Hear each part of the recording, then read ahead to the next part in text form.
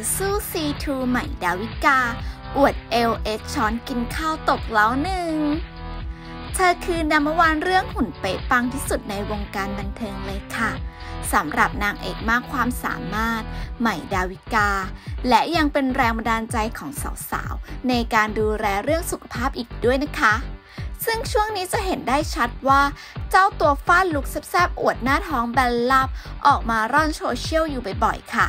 ล่าสุดมาอีกเซตไม่เคยทำให้แฟนคลับที่ต่างรอซูมต้องผิดหวังเลยสักครั้ง ซึ่ง look นี้สาวใหม่ดาวิกา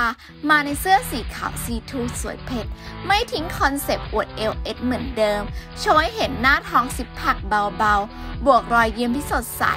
บอกเลยภาพนี้ใครเห็นแล้วมีใจละลายแน่นอนค่ะ และที่สำคัญทำให้สาวๆที่กินข้าวอยู่แทบวางช้อนไม่ทันกันเลยทีเดียว